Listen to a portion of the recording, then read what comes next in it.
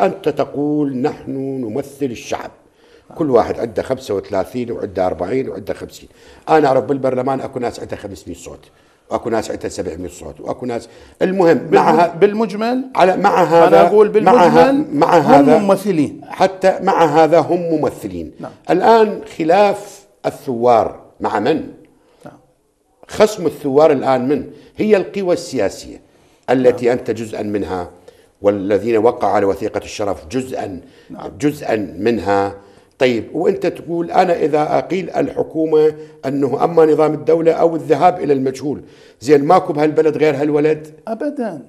أنا قلت ما أسهل تغيير الحكومة. طيب ما قلت ما, ما قلنا ماكو غير هالولد. هذا إذا إحنا اذا اذا عد النقطة التي تقول بها ما أسهل من تغيير الحكومة. صح. استجيبوا لأصوات ممثليكم هل هل وشكلوا هل, لهم. هل يتوقف الطلب أنت أنت جاوبني م.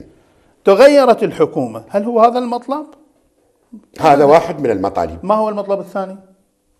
قانون انتخابات جديد من يعمل القانون ومن أين يأتي؟ جاوبني قانون الانتخابات يأتي هنالك هنالك خبراء قانون. المشكلة الآن التي أتمنى أن تفهموها الحديث أو أنكم تفهمونها وتحيدون عنها. أنا أرجو ما تتحدثوا بصبغة قانونية بصبغة قانونية. ونستمر. نستمر بصبغة القانونية. القانونية قانون الانتخابات والمفوضية يأتي من الحكومة. من الحكومة. الناس, أنا قلت الناس ماذا تقول؟ بس أنا أنت قاعد أقول صبغة قانونية أم نتحدث بالرغبات؟ لا بالصبغة القانونية الصبغه القانونية المشكلة القانون يأتي من الحكومة ومن رئيس الجمهورية زين إذا قلت الحكومة من يقدم هذا البرنامج؟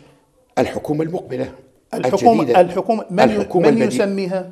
يفترض أن تسميها الآن. نعم. المفترض أن يسميها الآن البرلمان. الب... أن يختار انت, أن يختار أنت ما محترف بالبرلمان. شلون راح يسمي لك حكومة؟ زين. زين إذا البرلمان راح يسمي الحكومة.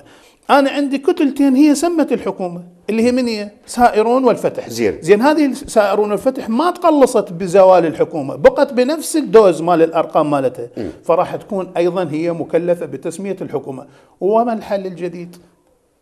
ما هو المرجو من هذه القضية؟ اذا العملية مو شخصنه ولا الموضوع هو حالة من التحزب، إحنا مشكلتنا وين؟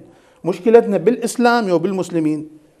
لا والله بالمسلمين. بالمسلمين. اذا مشكلتنا بالنظرية مو بالتطبيق. إحنا مشكلتنا عادة ما يكون هناك إحنا كانت عندنا مداخلة في البرلمان. وقلنا خلي يكون مرة واحدة يكون همنا وطني.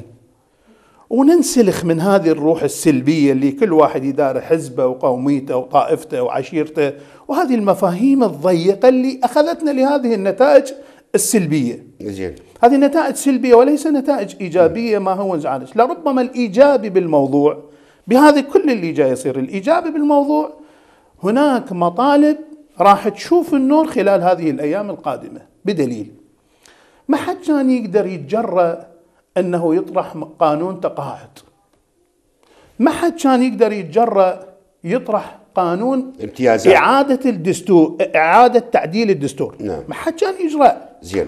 هناك سباق وكنا نتمنى وكانت أن أيضا مداخلة بهذا الموضوع أمام بعثة الأمم المتحدة اللي حضرت وقلنا على الجميع أن يتنازل من أجل الجميع.